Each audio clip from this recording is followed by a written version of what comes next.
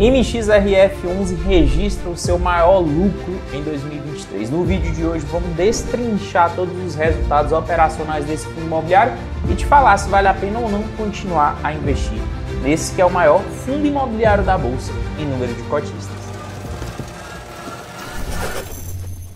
Fala aí, meu nome é Gabriel Porto e aqui no meu canal toda semana tem conteúdo novo para te ajudar na sua caminhada aí rumo à liberdade financeira, trazendo realmente conteúdo de valor, seja de fundos imobiliários, organização e planejamento financeiro. Então, se você ainda não é inscrito por aqui, já deixa o seu like e também deixa a sua inscrição aqui no canal para você sempre ser notificado quando tiver conteúdo novo e, como eu te falei, é sempre conteúdo que irá agregar na sua vida como investidor beleza? Então o MXRF11 soltou o seu novo relatório gerencial, tá? A gente está no mês de junho, então o fundo imobiliário soltou o relatório gerencial do mês anterior, do mês de maio de 2023. E com esse relatório gerencial a gente conseguiu ter acesso a várias informações extremamente valiosas sobre esse, como eu já falei, o maior fundo imobiliário em número de cotistas hoje da Bolsa de Valores, já ultrapassando a marca aí de mais de 800 mil cotistas aí. Com certeza o MXRF será o primeiro fundo imobiliário da Bolsa a chegar aí na casa de um milhão de cotistas. Provavelmente você que está me assistindo, se não for cotista do MXRF, já ouviu muito falar sobre esse fundo imobiliário. Que no dia que eu estou fazendo o vídeo está saindo aqui por R$10,74, né? Há poucos dias atrás ele chegou até a interessante marca de R$11,00 por cota, valor que esse fundo imobiliário não chegava jamais de três anos, porém ele teve uma queda aí nos últimos dias, chegou a um preço máximo, provavelmente muita gente fez a venda desse fundo imobiliário por um preço realmente muito alto e agora ele está por R$ 10,74, que ainda assim é um valor acima do seu valor patrimonial, né? O MXRF tem um valor patrimonial de R$ 10,06, então ele está sendo negociado de fato aí sobre um PVP de 1,08, 8% acima do seu valor patrimonial. Então, no meu ponto de vista, olhando realmente para a questão preço, o MXRF nesse momento não se encontra aí, de fato, em um bom momento de oferta.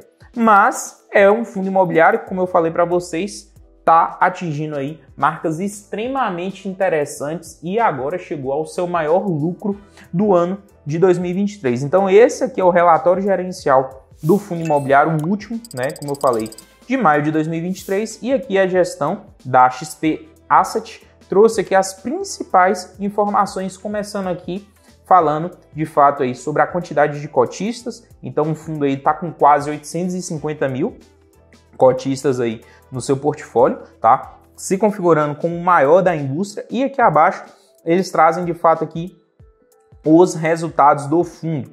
Olha o que, que aconteceu. Os rendimentos auferidos segundo o regime de caixa, foram de 0,13 por cota, totalizando 29 milhões de reais. É isso mesmo. O lucro final do MXRF11 somente no mês de maio de 2023 foi aí de mais de 29 milhões, quase 30 milhões de reais, o que daria ali um lucro de 0,13, tá? Por cota. Porém, esse fundo imobiliário distribuiu 12 centavos por cota. Isso é normal tá? Vários fundos imobiliários mantêm ali uma média de distribuição, reserva um certo caixa para que no final dos semestres o dividendo suba e provavelmente a gente vai ver aí um dividendo maior no próximo mês para MXRF, né? O dividendo de, que é pago em julho, porém advindo do mês de junho. Então, fechamento do primeiro semestre, tudo que ficou em caixa ali, o fundo imobiliário é obrigado a distribuir ali para os seus cotistas. Então, ele teve aqui esse regime aqui de 29, mais de 29 milhões de reais, mas distribuiu aqui 0,12 por cota, tá? E aqui também tem um, um Excel, né? Um gráfico de Excel que eu quero mostrar para vocês que a própria gestão traz, né? Uma planilha bem fundamentada, uma planilha bem direcionada, é, que no próprio relatório gerencial a gente acha de todo o histórico do MXRF para a gente ver aqui o que de fato aconteceu aí é, nesse último mês. E aqui, esse último parágrafo também é bem interessante. Por fim, em virtude do regime de caixa seguido pelo Maxi Renda e dos meses de inflação alta do fundo, hoje possui uma reserva acumulada. Isso aqui é bem interessante. De correção monetária na ordem de 19 milhões de reais ou 0,08 por cota.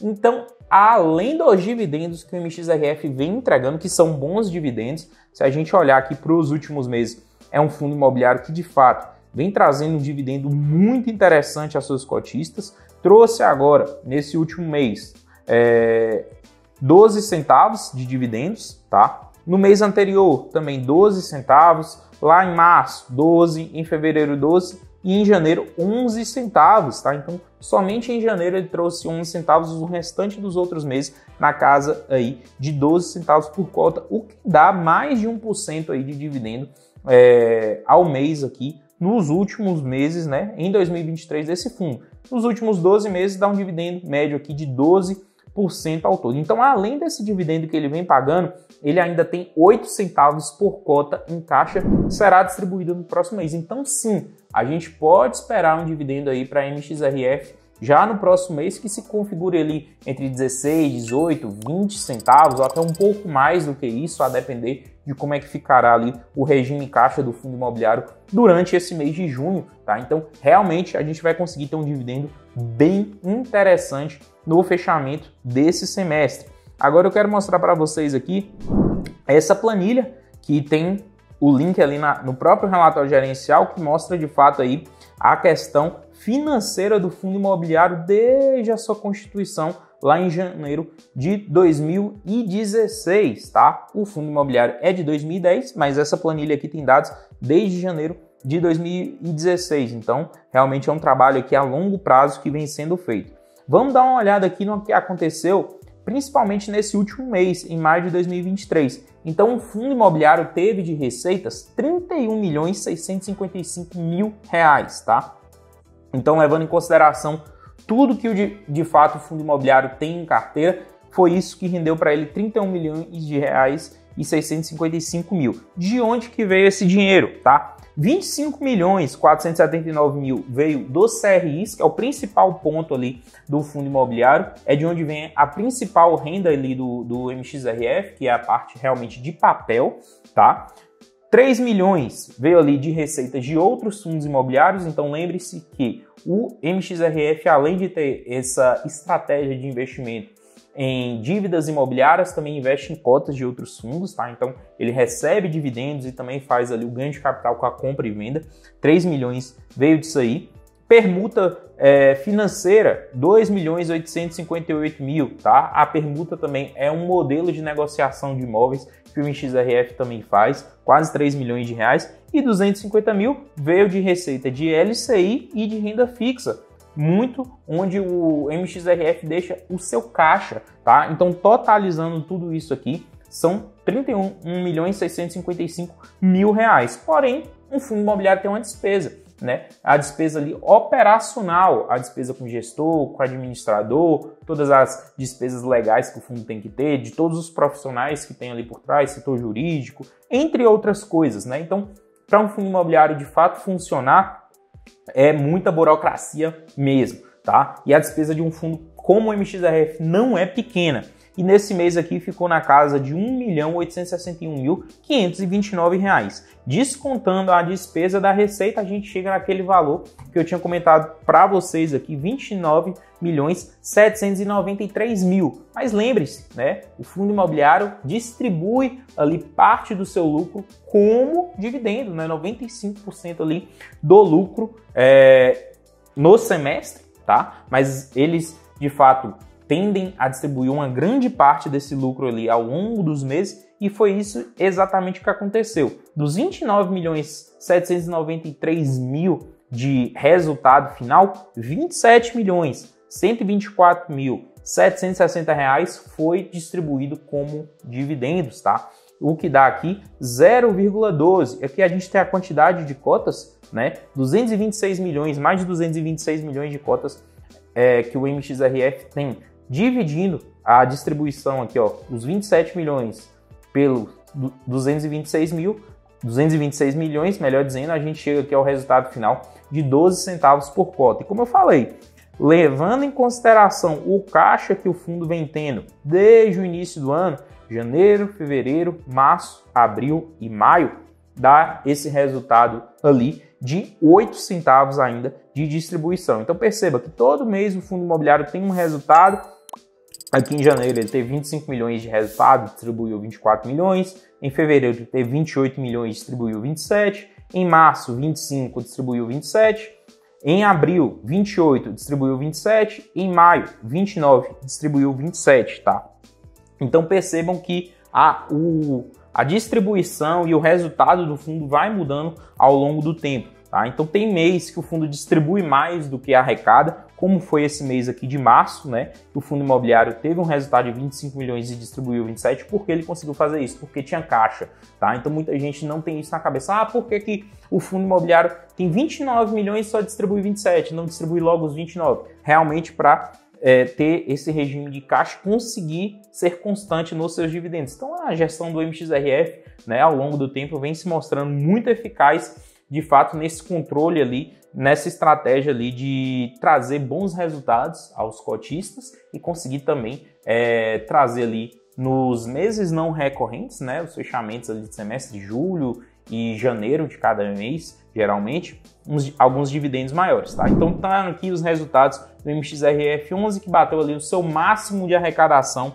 nesse mês aí de maio, né, que o resultado foi auferido em junho, mas a gente ainda tem seis meses do ano para continuar acompanhando esse fundo imobiliário. Eu tenho certeza que ele vai trazer ainda ótimos resultados, apesar de eu gostar bastante da gestão, do histórico, dos resultados que esse fundo vem entregando. Eu considero ele caro nesse momento, eu não estou comprando MXRF por conta disso, porque eu enxergo que no mercado a gente possui melhores oportunidades. E a gente tem em mercado fundos imobiliários iguais ou até melhores que o MXRF com melhores oportunidades, mais descontados, entregando muitas vezes um dividendo até maior do que esse fundo imobiliário. Só que as pessoas muitas vezes ficam ali grudadas em um único fundo imobiliário achando que só aquilo dá certo. E a verdade é que não. Tá? A gente está vivendo um grande momento de oportunidade no mercado como um todo e é preciso você ter uma visão 360 de tudo que está acontecendo. Por isso, para te mostrar de fato onde estão as melhores oportunidades do mercado